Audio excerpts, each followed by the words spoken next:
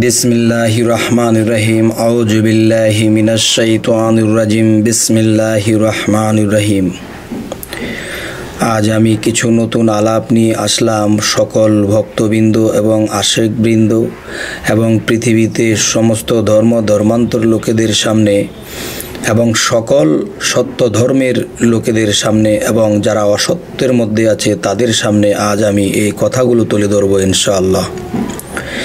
সেই কথাগুলো হলো যে এই পৃথিবীতে দেখা যায় বিভিন্ন রাষ্ট্রেই কিছু কিছু রাষ্ট্রে পীর আউলিয়ার প্রচলন আছে, তরিকত ধরার, মুর্শিদ ধরার প্রচলন আছে, আবার কিছু কিছু রাষ্ট্রে নাই, আবার কেউ বিশ্বাস করে, আবার কেউ করে না।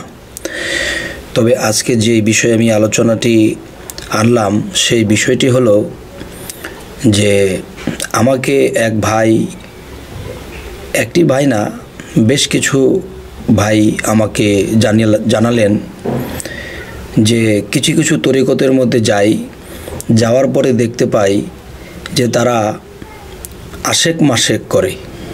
আশেক মাসেক বলতে কি?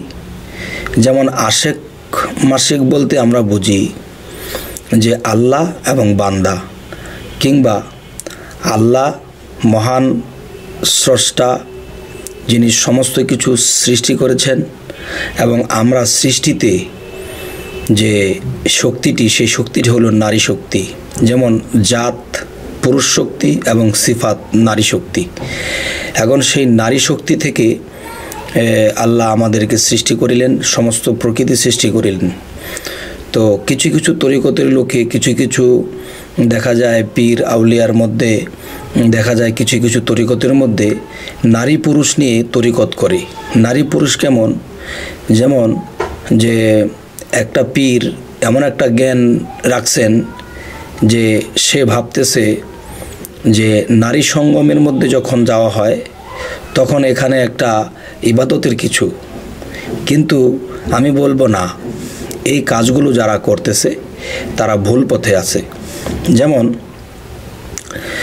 এই চিটাগাঙে বা বিভিন্ন জায়গা থেকে আমার কাছে ফোনে বলা হলো যে এই বিষয়ে আপনি কিছু বলুন যে এক ধরনের পীর আছে যারা নারীদেরকে নিয়ে তরিকত করে বা তারা খারাপে লিপ্ত হয়, এরকম কিছু। আসলে আমি বলব যে তারা খারাপে লিপ্ত হয়, তারা মূর্খ এবং তারা আসল জিনিস বুঝে না। নারী আর পুরুষ বলতে কি বুঝব? যে মহান স্রষ্টা যিনি, তিনি মহাপুরুষ এবং সৃষ্টিতে আমরা যারা এসেছি, আমরাই নারী। তাহলে নারী বলতে কি? যে সিফাতি নূরটাকে নারী শক্তি বলা হয় এবং জাত যে নূরটা, সে নূরটাই হলো জাতিশক্তিতে তিনি পুরুষ। তাহলে জাত এবং সিফত মিলেই তো আমার একটা দেহ গঠিত হয়েছে। তো আমি মনে করি যে আমার দেহের মধ্যে পরমাত্মা আছে এবং জীবাত্মা আছে। ক্ষুদ্র পরমাত্মা যিনি মানবদেহে বিরাজমান এবং মহান পরমাত্মা যিনি পরমাত্মা সর্ববিষয়ে সর্বশক্তিমান, যে আল্লাহ এই পরম রূপে মানুষের মধ্যে বিরাজ করেন, পরমাত্মার মধ্যে মিশে এই মানব দেহে বিরাজ করেন। কিন্তু বিরাজ করেন এবং জাগ্রত না।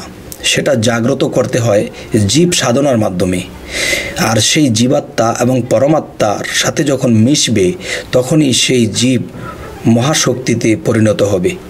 তাহলে সেই মিলনের কথা বলা হয়েছে যে একটা মিলন হলো যে পরমাত্মা এবং জীবাত্মা এক হবে, কারণ সেই পরম থেকে জীব এই পৃথিবীতে এসেছে সৃষ্টির মাধ্যমে এবং জন্ম জন্মান্তরের মাধ্যমে বা জন্মের মাধ্যমে এই দেহ গঠিত হয়েছে আর এর মধ্যে জীব আর পরম বাস করে।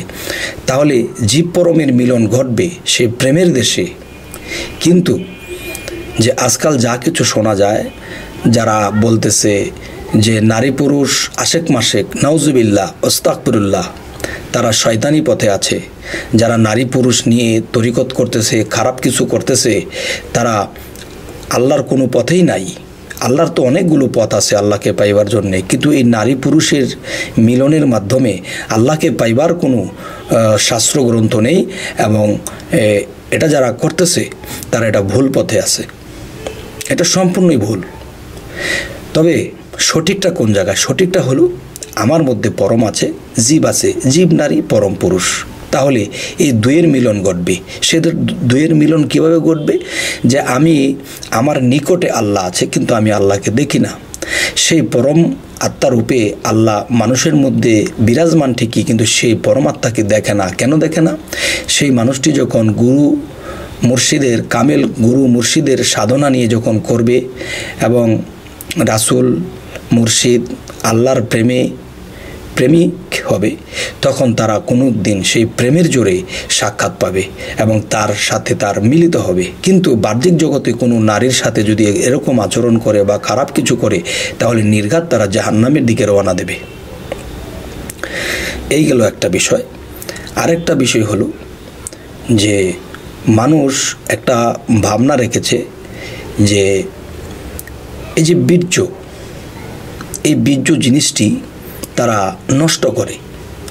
কিন্তু না, এই বীর্য জিনিসটা নষ্ট করা যাবে না। আরেকটা বিষয় হলো যে একটা মানুষ যখন খাবার খাদ্য অতিরিক্ত খায়, ভালো মন্দ খায়, তখন এই জিনিসের উৎপত্তি হয়।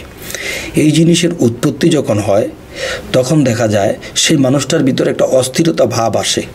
যতক্ষণ পর্যন্ত সে ওরকম কিছুতে লিপ্ত না হইতেছে, খারাপ বা ওরকম নারী সঙ্গমের মধ্যে লিপ্ত না হইতেছে, ততক্ষণ পর্যন্ত সে স্থিরতা হয় না। তার মানে কি? যে একটা ঘটির ভিতরে যদি পানি থাকে, তাহলে ঘটিটা একটু নাড়া লাগলেই দেখা যায় যে ঝলমল করে বা একটু কাইথলে পড়ে যায়, পানি পড়ে। তো এরকম মানব দেহটা একটা ঘট আর এই ঘট ভর্তি যদি পানি থাকে, তাহলে তো নাড়া লাগে, পড়বেই। সেই নাড়াটা কি? সেই নাড়াটা হলো দৃষ্টির থেকে হতে পারে। একটা নারীর দিকে তাকাইছে, তার একটা কাম বাসনা জাগছে, বা একটা খারাপ কিছু দেখছে, ওখান থেকে তার ওটা জাগছে। কেন জাগছে? তার ভিতরে সেই জিনিসের ভরপুর। কেননা খাওয়া দাওয়া অতিরিক্ত করলে ওই জিনিস বেশি হয়, তখন একটা মানুষ স্থির থাকতে পারে না। তাই বলি যে, আমি ওরকম খাবার খাব না, যে খাবার খাইলে মানুষের মধ্যে এই জিনিসের উৎপত্তি বেশি হয়। আর উৎপত্তি যখন বেশি হয়, তখন দেখা গেছে যে কলস খালি না হওয়া পর্যন্ত সেখানে পানি টলমল করতেই থাকে। তাই সাধক যারা এই সাধকরা কিন্তু এই এই কারণেই তারা বেশিরভাগ না খেয়ে থাকে। এবং তারা না খেয়ে থাকে বেশি, তখন সেই জিনিসের উৎপত্তি কম হয়, তখন শরীরে স্থিরতা থাকে, তখন আল্লাহর ইবাদতে তাদের মন ডুবে। এখন দেখা যায়, আমরা এই পৃথিবীতে যারা আছি, তারা ভাবতেছি যে এই জিনিসটা যদি এক ভান্ডে থেকে আরেক ভান্ডে দেওয়া হয়, আর ওই ভান্ডে থেকে কিছু নেওয়া হয়, তাহলে আমরা ধনী হব, আখেরাতের ধনী, পরকালের ধনী। নাউজুবিল্লা ওস্তাকবিরুল্লাহ এখানে ধনী মানির কোনো বিষয় না। তবে যে প্রেমিক কোনো দিন এরকম চিন্তা ভাবনা করে না। আর এই যেই পানি দ্বারা আপনার আমার সৃষ্টি হয়েছে, আপনার আমার জন্ম হয়েছে, এই পানি নিজের শরীরের সাথে মিশানোর চেষ্টা করতে হবে। তবে দেখা গেছে যে কখনো কখনো যদি এমনিতেই কিছু একটা ঝরে যায় বা পড়ে যায়, সেটা তো আমার ইচ্ছা থেকে হয় নাই। এটা অনিচ্ছায় হয়েছে, সেটা আল্লাহ মাফ করবে। কিন্তু ইচ্ছাগতভাবে এই জিনিসকে যতটুকু ধরে রাখা যায়, তবে কেউ বলতে পারে যে আমার তো স্ত্রী আছে, আমি নতুন বিবাহ করেছি, আমার তো একটা দাম্পত্য জীবন, আমি কীভাবে এটা বেঁচে চলি? তবে একটা কথা হলো যে যদি কেউ গুরু ধরা থাকেন, তাহলে গুরুর কাছে যাবেন মুর্শিদের কাছে যাবেন।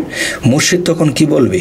যে বাবা রে তুমি মাসে এতবার তুমি এই কাজে লিপ্ত হতে পারো। এর বেশি তুমি যাবে না। আরও বরঞ্চ কমানোর চেষ্টা করবে। তখন দেখা যায় যে, এর চেয়ে বেশি যখন হুকুমের বাহিরে যখন যাওয়া হয়, তখন আল্লাহ এটা হিসাবে ধরবে। আর যদি সে হিসেব মতে চলে, তখন দেখা গেছে যে, আল্লাহ ধরবে না। তো আধ্যাত্মিক বিষয় আরেকটি বিষয় হলো যে যদি কেউ নিজের দেহের মধ্যে এই জিনিসটি মিশাইয়ে রাখতে পারে এবং এই জিনিসটা খরচ না করে, তাহলে তিনি একদিন খুব উচ্চস্তর লাভ করবেন এবং তার আধ্যাত্মিক জগতে তিনি সাধন যতটুকু করুক কিন্তু এই জিনিস যে নিজের মধ্যে ধরে রেখেছে, এটা একটা আগুনের মতো, ওটা গরম তাপমাত্রা শরীরকে অস্থির করে তোলে। আর এই অস্থিরতা জিনিসটাকে যে নিজের শরীরের সাথে মিশ্রিত করতে পারছে, ম্যাচ, ম্যাচিং করতে পারছে, সে এই পৃথিবীতে, সে আল্লাহর কাছেও সম্মানী এবং মৃত্যুর পরেও তার সম্মান আছে। যে যে হাতের কাছে ভরা কলস তবু পান করল না। তাহলে কঠিন একটা ত্যাগ দেওয়া হয়েছে। তাহলে এই কাম যে একটা জিনিস, এই জিনিস থেকে আমাদের রক্ষা পাইতে হলে কি করতে হবে? আমাদের প্রেম জাগাইতে হবে এবং সাধনা করতে হবে। ভুলে যদি হয় আল্লাহ মাফ করবে, কিন্তু ইচ্ছাগতভাবে এই জিনিস নষ্ট করা যাবে না। তবে বলা হয় যে এই জিনিস তো উৎপাদন হয়ই, তো উৎপাদন হয় বিদায়। আমরা এই জিনিসগুলাকে নিজের মধ্যে কীভাবে সেট করব? আমরা বেশি বেশি রোজা রাখব। রোজা রাখা অনেক বড় একটা বিষয়। তখন দেখা যায় যে আস্তে আস্তে আস্তে আস্তে আমার এই জিনিসগুলো কন্ট্রোলে আসবে। আর সেই জিনিসগুলো আমার মধ্যে মিশিয়ে রাখতে পারব। সাথে লাগবে আল্লাহর প্রেম, রাসুলের প্রেম, মুর্শিদের প্রেম যদি চার কারও অতিরিক্ত হয়, তখন দেখা যায় শরীরের সাথে এই জিনিসটা আস্তে আস্তে মিশতে থাকে। কারণ যে একজন প্রেমিক, এ পৃথিবীতে যদি একটা ছেলে মেয়ের প্রেম দেখি, দেখা গেছে যে একজন একজনকে খুব ভালোবাসে। এখন সে দূরে চলে গেছে বা তাকে না বলে দিচ্ছে যে আমি তোমার সাথে আর এই প্রেম জগতে নাই। তখন সে তার কথা ভাবতে ভাবতে নাওয়া খাওয়া ছেড়ে দিল। নাওয়া খাওয়া যখন ছেড়ে দেয় একটা মানুষ, তখন তার শরীরটা জীর্ণ শীর্ণ হয়। কিন্তু এর চেয়ে সত্তর গুণ বেশি মুর্শিদের প্রতি এবং রাসুলের প্রতি সেই প্রেমটা রাখতে হবে। আর সেই প্রেমিক যখন প্রেমের দেশে থাকে, তখন তার খাওয়া দাওয়া ওরকম চলবে না। আর তার সেই বীর্য জিনিসটা অত উৎপাদন হবে না। তার শরীর স্থির থাকবে। আর ওই অবস্থায় যদি একজন মানুষ সাধনা করে, তাহলে সে সাধনায় ডুবতে পারে। আর যখন সে ডুববে, তখন আল্লাহর তরফ হইতে নূরের তাজাল্লি পাবে। আর সেই নূরের তাজাল্লিটা কি? সেটাই আল্লাহর জাত নূরের তাজাল্লি পাবে। এখন আমরা সিফত হয়ে সেই জাত নূরের তাজাল্লি যখন আমাদের মধ্যে আসবে, তখন আল্লাহর নূর আমাদের মধ্যে আসতে আসতে আসতে আল্লাহর নূরে নূরানিত যখন হয়ে যাব, তখনই আমি রাসুলের সাথে মিশবো। আর যখন আমি রাসুলের সাথে মিশবো, তখন রাসুল আল্লাহর সাথে মিশবে। এটাই হলো মিলন। কিন্তু এই পৃথিবীতে কিছু কিছু পীর ফকির আছে, ভুল জিনিসগুলো তারা করতেছে। যেমন যে নারীর সাথে সঙ্গমে লিপ্ত হয় বা বিভিন্ন খারাপে লিপ্ত হয়, তখন দেখা যায় এটা ঠিক না, আর এটা এটা তারা ভুল পথে আছে। তাই আমি বলতে চাই যে আজকের পর থেকে যদি আপনাদের এই আমার এই কথাগুলো ভালো লাগে, যে হ্যাঁ আমাদের এই নিয়ম পালন করে চলতে হবে, তাহলে আমরা সামনে রক্ষা পাবো ইনশাল্লাহ। তবে এর পাশাপাশি আরেকটা কথা বলি, যেমন যদি কেউ চায় যে আমার এই জিনিসগুলো, এই যে পানি দিয়ে মানুষের সৃষ্টি হয়েছে, সেই পানিটা মানুষের মধ্যেই উৎপত্তি হয়। এই উৎপত্তিকে কমানোর জন্য শেষ করা যাবে না বা বন্ধ করা যাবে না। তবে এই উৎপত্তিকে কমানোর জন্য আমাদের কি করতে হবে? যেমন আমিষ জাতীয় খাবার যারা বেশি খায়, পেট ভরে খায়, তাদের এই জিনিসের উৎপাদন বেশি হয়। তখন নিজের চরিত্র ধরে রাখা সম্ভব হয় না। তাই আমাদের কি খাইতে হবে? যেমন বিশেষ করে মাংস। এবং যে বিশেষ করে যে এমন এমন কিছু মাছ, এ ধরনের জিনিস আমাদের কম খেতে হবে আর নিরামিষটাই বেশি খেতে হবে। তখন নিরামিষ যখন বেশি বেশি খাওয়া হবে এবং দেখা গেছে যে আমিষ জাতীয় খাবার কম খাওয়া হচ্ছে, তখন দেখা গেছে শরীরের মধ্যে সেই উত্তেজনা শক্তিটা কম হবে, তখন সেই ফাঁকে একজন সাধক আল্লাহর সাধনা করবে এবং ধ্যানে ডুবতে পারবে, তখন একদিন আল্লাহ রাসুলের সাক্ষাৎ পাবে ইনশাল্লাহ তো এখানে আরেকটা যুক্তি বিষয় যে এর প্রমাণটা হলো যে আপনারা বাস্তবে একটা প্রমাণ করবেন যে একটা হাতি কিন্তু অনেক বড়। এই হাতিটা অনেক বড়, কিন্তু শক্তিও কম নয়। কিন্তু সে খায় কি? সে কলা ঘাস খায়, বিভিন্ন ঘাস খায়, সে কিন্তু মাংস খায় না। কিন্তু তার কিন্তু শক্তি কম নেই। কিন্তু দেখবেন, এই হাতিটা যখন চলাফেরা করে, হাঁটে, সে কিন্তু নীরব, অত উশৃঙ্খলতা তার মধ্যে নাই। তাহলে বোঝা গেল কি? যে হাতি নীরব কেন? সে ঘাস খায়। সে নিরামিষ খায়। আচ্ছা এবার আসি। দেখবেন ভাগ, ভাল্লুক, সিংহ, এগুলা লাফালাফি, ফালাফালি করে। এগুলো অস্থির। কেন অস্থির?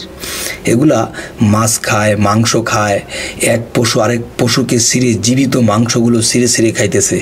তখন দেখা গেছে যে মাংসর মধ্যে একটা অস্থিরতা জিনিস কাজ করে। আর সেই জিনিসগুলো যখন অন্য অন্য প্রাণীরা খায়, তখন বাঘ, ভাল্লুক এদেরকে অস্থির দেখা যায়। তাদেরকে অস্থির দেখা যায় কেন? যে তারা মাছ, মাংস বা আমিষ জাতীয় যেই মাংসগুলো তারা খাইছে। যার ফলে তারা অস্থির। আর অস্থির বলে তারা লাফালাফি, ফালাফালি করতেছে। কিন্তু হাতি কিন্তু শক্তি কম নেই, কিন্তু সে কিন্তু নীরব। আর নিরব নীরের দেশে যখন যাব, তখন রবের সাক্ষাৎ পাব।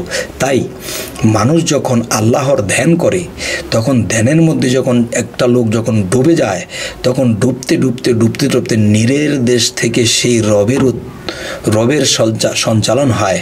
আর সেই রবকে যে এক নজর দেখে, তার জন্যে দোজক হারাম। তাই বলি, এই পৃথিবীতে যারা নারীদেরকে নিয়ে এরকম খেলামেলা করতেছে, তারা সুপথে নাই। তারা কুপোতে আছে। তো আজকে যে আলোচনাগুলো করলাম, এই আলোচনাগুলো করার উদ্দেশ্য হইল যে এটা বোঝার জন্যে যে আমরা নিজের দেহের মধ্যে সেই বীর্যগুলাকে আমরা ছেড়ে দেব না। আমাদের নিজের মধ্যে মিশাই রাখতে হবে। তবে অতিরিক্ত যখন মানুষ খাওয়া দাওয়া করবে, তখন এগুলা নিজের মধ্যে মিশানো যায় না। কারণ অল্প খাব আর অল্প সঞ্চার সঞ্চার হবে, আর সেই অল্পটা আমাদের দেহে ফিটিং হবে। তখন দেহের মধ্যে নূরে তাজালের মতো দেখা যাবে এবং একজন মানুষকে দেখতে খুব ফুটে উঠবে। কারণ এই জিনিস তার দেহে মিশেছে, তার চেহারাটা যদি কালো রঙের মানুষ হয়, তবু চেহারার মধ্যে একটা চকচকা একটা ভাব চলে আসবে। তখন দেখা যায় একটা মানুষকে দেখলে বলে যে লোকটার এই চেহারার মধ্যে নূর আছে। তাই আমি বলতে চাই, এই পৃথিবীতে যে এমন ভুল পথে অনেক মানুষ আছে, যে এই জিনিসগুলো নষ্ট করতেছে, একটা ভান্ডে থেকে আরেকটা ভান্ডে দিতেছে, এ মনে করছে এটাই বুঝি সেই মিলন। না বাবা, আশেক মাসেক আল্লাহ আর বান্দা। এদের মধ্যে আশেক মাসেক আমি জীবাত্মা যখন পরমাত্মার সাথে মিশব, তখনই আমার সেই মিলন ঘটল। কার সাথে? রাসুলের সাথে। রাসুলের সাথে ঘটলে কার সাথে ঘটলো? আল্লাহর সাথে ঘটল। তাই আমি এই আলোচনাগুলো এই কারণেই করলাম যে আমার কিছু ভাই ব্রাদার, তারা আমাকে জানিয়েছেন যে আপনি এই বিষয়ে কিছু আলো, আলোচনা করবেন। তো আজকে আমি এই কথাগুলো এ পর্যন্তই রাখলাম। আপনাদের কেমন লাগল অবশ্যই আমাকে জানাবেন। আজ এই বলেই রাখছি। আল্লাহ হাফেজ।